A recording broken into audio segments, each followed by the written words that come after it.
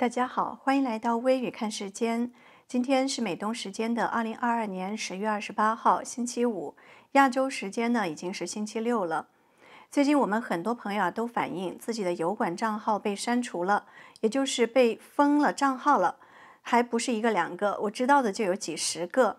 那这些人的账号呢都没有发布过任何的视频，他们都是用这个账号看一看视频，或者是留个言而已。但是油管却告知他们违反了社群规则。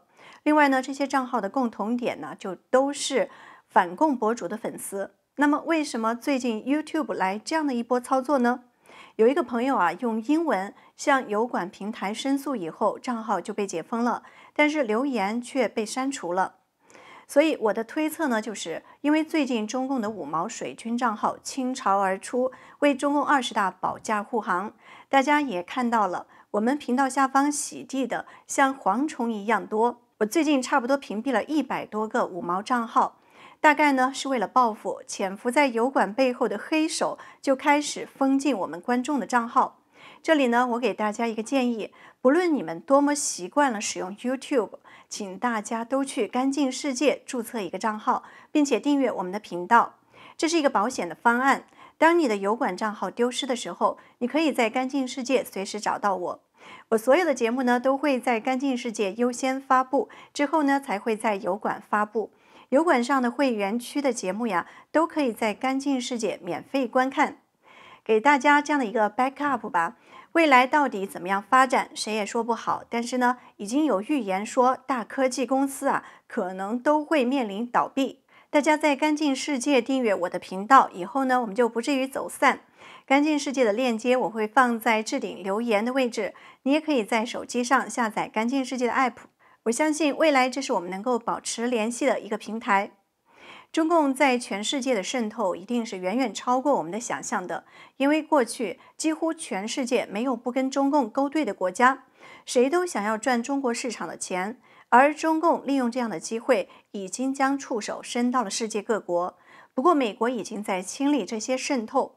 最近有消息说，美国芯片大厂美满电子中国区也开始大幅的裁撤中国研发团队。美满电子的总部是在硅谷，但是在中国上海、南京、成都和北京都设有研发中心，员工有近千人。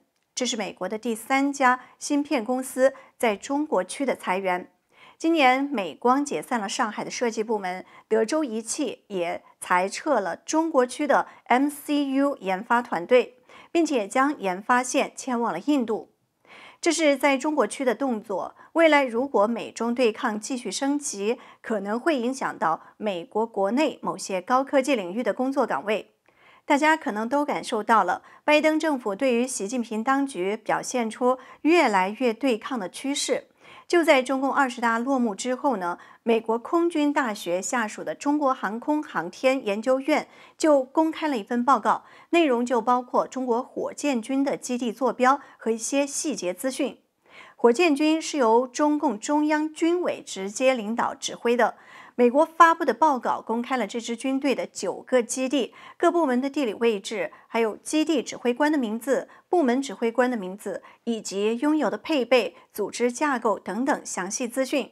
比如，其中六十一基地的总部呢，就是位于中国黄山市，地址是安徽省黄山市屯溪区阳湖镇红星路四十号，详细的经纬度都有。六十一基地拥有八个团，还有训练团、通信团、作战保障团、综合保障团、技术勤务旅，还有装检团、无人机团、九六六零幺部队医院。报告还说，这是毗邻台湾海峡的作战区域，将成为台海冲突中负责弹道导弹行动的主要基地。还有更多的详细信息，大家想一想，美国的情报工作有多强大？中共军队的信息被掌握的这么的详尽，难怪有人说这样还想打台湾，做梦吧！专家说，这个是给习近平的警告，是在提醒他，美国目前在军事上、科技上都是远远领先中国的，你习近平不可以轻举妄动。我认为习近平并没有胆量马上在台海开战，而且呢，我之前一直都分析，作为一个追求连任、想要成为人民领袖的人，他如果还不蠢，那就一定会在连任以后寻求国际支持，对内呢也假装要改善民生。果然呢，根据新华社的报道，习近平在十月二十六号向美国非营利机构美中关系全国委员会年度晚宴发贺信了。说，当今世界既不安宁也不太平，中美作为大国，双方加强沟通合作，有助于推动世界和平发展。中方愿意同美方一道努力，互相尊重，和平共处，合作共赢，找到新时代中美正确相处之道。大家看这些内容，非常明显的呀，就是在向美国示好。我之前跟大家分析。过去跟美国利益绑定的呢是江曾家族，习江斗实际上呢使美国的大资本也受到牵连，所以才会有拜登政府对抗习近平当局这一出。我相信拜登不是为了什么正义和道义才会去对抗中共，只不过呢是今日今时，习近平动到了他们的奶酪。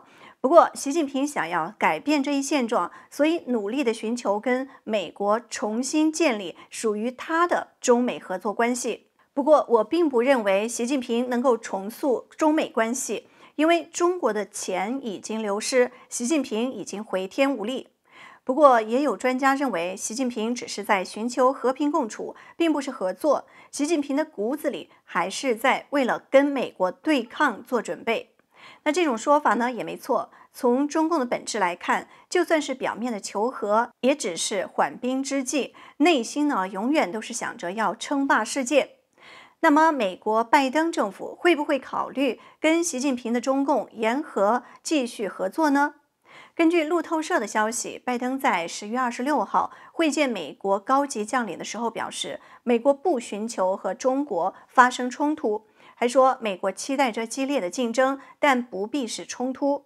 我认为拜登呢比较老奸巨猾，他这样的说法表面上看呢是不想发生冲突，但是这只是一种说法。实际上呢，他的很多做法方面，让我们看到美国对于中共的态度呢在进一步的恶化，正在将对抗的中心从俄罗斯转移到中国。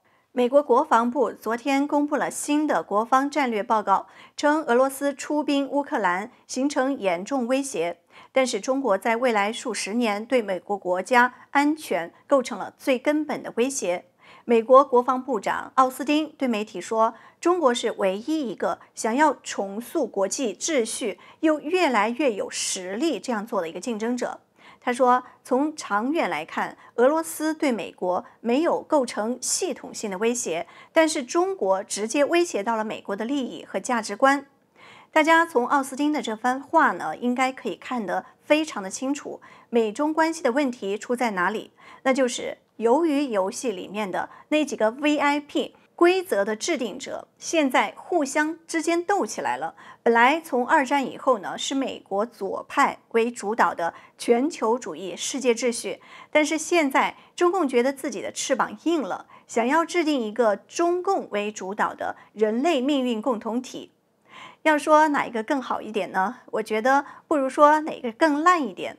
其实呀，都是在走向共产主义，只是在走向共产主义进程的这个方式是以中共为主导，还是以美共为主导？没有深入研究过全球主义世界新秩序的人呢，可能不会认同我的这个观点。一只狼和一只披着羊皮的狼，其实啊都是狼。十月二十七号，美国还公开发布了核态势评估的公开版本。那这个公开版本呢，相对于机密版本是有删减的。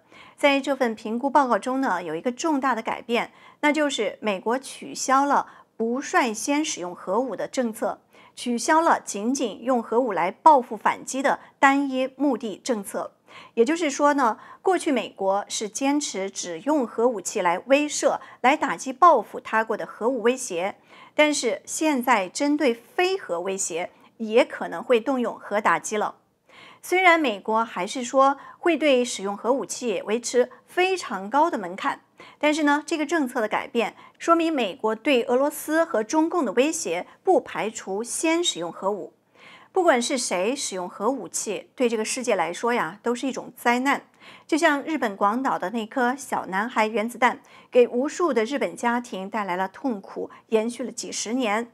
为什么那些统治者的野心和好战，要让只想过好自己生活的人民来承担呢？所以，我对于那些研制和使用核武器的科学家和军事家，并不支持。我认为他们是人类的罪人。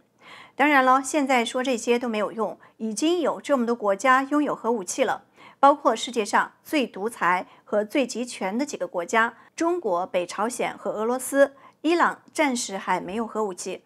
美国的核态势评估报告点明了这四个国家是潜在的核武对手。到二零三零年，美国将会面对中国和俄罗斯两个核大国作为对手。对于北朝鲜呢，美国的态度是，只要北朝鲜敢使用任何核武，那北朝鲜的金家政权就会被终结。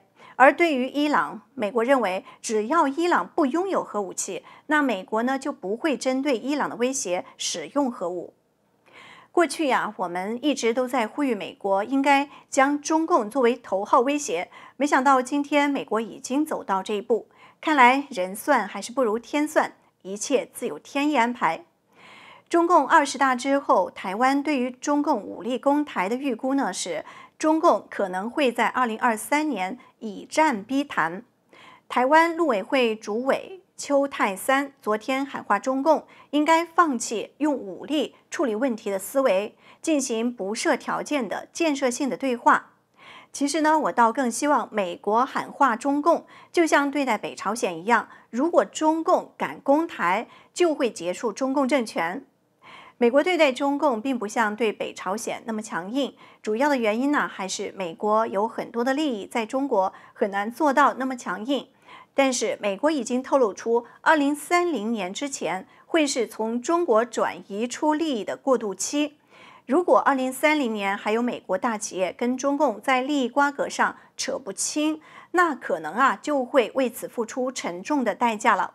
好，今天我们就说这些，谢谢大家，祝大家周末愉快，我们下次见。